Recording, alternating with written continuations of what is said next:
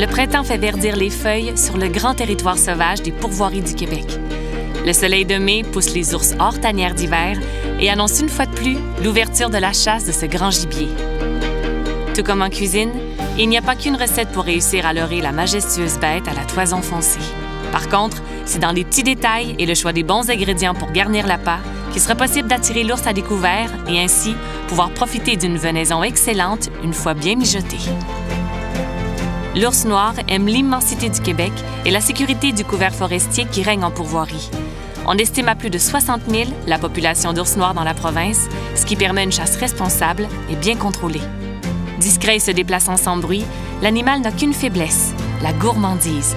Son long museau réagit fortement au parfum sucré que le guide disperse sur le site de façon régulière. Une mère avec ses petits n'a rien à craindre du chasseur, car il est conscient du rôle vital de celle-ci dans l'accompagnement des nouveau-nés. Le sportif en prend alors plein les yeux. Le Québec et ses pourvoiries vous permettent à tous les printemps de vivre l'aventure chasse à l'ours en s'occupant de vos moindres désirs, de l'hébergement jusqu'au repas, en passant par l'installation des caches et la création de ces achalandées par les ombres noires. Alors, pourquoi ne pas profiter de cette activité en famille afin d'assurer une bonne viande d'ours au menu? L'ours à la coréenne.